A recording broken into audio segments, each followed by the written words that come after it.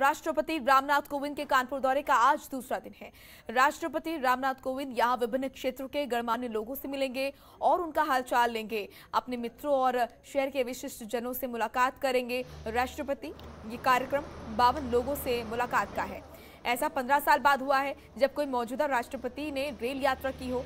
इससे पहले 2006 में तत्कालीन राष्ट्रपति डॉक्टर एपीजे अब्दुल कलाम ने दिल्ली से देहरादून तक की रेल यात्रा की थी, जहाँ उन्हें इंडियन मिलिट्री एकेडमी की पासिंग आउट परेड में शामिल होना था। राष्ट्रपति आपको बता दें कि प्रेसिडेंशियल ट्रेन से शुक्रवार शाम कानपुर पहुँचे, यानी कि कल वो शाम को कानपुर पहुँच चुके थे। आज शहर में पुराने परिचित लोगों से मिलेंगे। 27 जून को राष्ट्रपति रामनाथ कोविंद हेलीकॉप्टर से पैतृक गाँव परौंक और पुखराया और कस्बा जाएँगे। करीब तीन बजे राष्ट्रपति पुखराया से कानपुर के लिए रवाना होंगे। यहाँ रात्रि विश्राम के बाद 28 जून को सुबह दस बजकर बीस मिनट पर प्रेसिडेंशियल ट्रेन से लखनऊ रवाना हो जाएँगे। लखनऊ से उनतीस जून को शाम साढ़े चार बजे एयरफोर्स के विमान से दिल्ली के लिए रवाना हो जाएँगे। राष्ट्रपति रामनाथ कोविंद। आशीष, हमारे सहयोगी जुड़ चुके हैं इस खबर पर। आशीष, आज राष्ट्रपति रामनाथ कोविंद का दौरे का दूसरा दिन है। आज क्या कुछ प्रमुख उनके कार्यक्रम रहने वाले हैं? क्या कुछ उनका शेड्यूल रहने वाला है?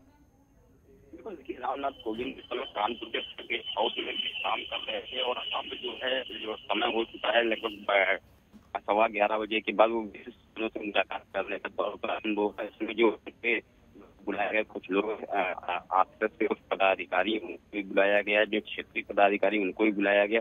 इसके अलावा कई ऐसे लोग हैं जो उनके अतिथि लोग थे, उनको भी वहाँ पर आगमन का न्योता दिया गया है। इसके हिसाब से प्रोटोकॉल के हिसाब से एक एक करके वो सभी कोविड नियमों का पालन करते हुए उनसे मुलाकात करेंगे, उनका हाल हालचाल जानेंगे।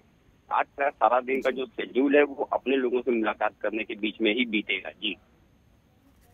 बिल्कुल तो आज अपने लोगों से मुलाकात करेंगे राष्ट्रपति रामनाथ कोविंद। आशीष और अगर बात की जाए आ, आ, उनके पूरे शेड्यूल की आज दिन से लेकर रात तक का पूरा शेड्यूल अगर हम कहें तो क्या सिर्फ़ वो अपने परिजनों से मुलाकात करेंगे अपने खास दोस्तों से ही मुलाकात करेंगे या फिर इसके अलावा और कुछ भी उनके कार्यक्रम रहने वाले हैं? बिल्कुल देखिए आज का जो पूरा उनका शेड्यूल है वो आज अपने लोगों से मुलाकात करने का ही शेड्यूल है। दोपहर में वो विश्राम करेंगे उसके बाद शाम को भी वो सर्किट हाउस में यानी ये कहा जा सकता है कि आज सर्किट हाउस से बाहर जाने का कोई भी उनका प्रोग्राम नहीं है। कल सुबह जो है वो अपने गाँव, जो उनका पैतृक गाँव है, पारे पारेक वो वहाँ पर जाएँगे और वहाँ पर उनका जो प्रोटोकॉल है, उसके बाद जो है जो है वो सारा दिन वहीं पर बिताएँगे। इस तरह से यानी साफ़ तौर पर कहा जा सकता है कि आज राष्ट्रपति रामनाथ कोविंद का कोई भी दौरा सर्किट हाउस के बाहर नहीं होगा।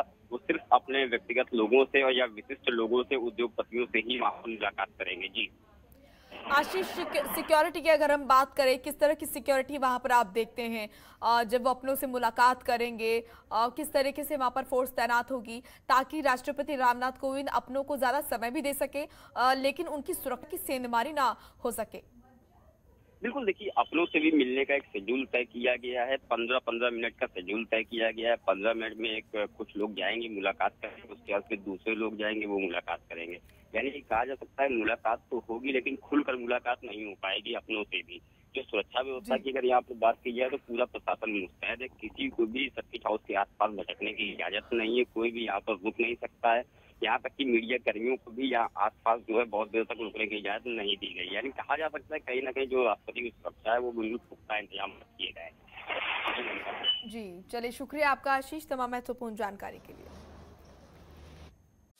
खबरों के निष्पक्ष विश्लेषण के लिए सब्सक्राइब करें Jantantra TV and press the bell icon. Never miss any update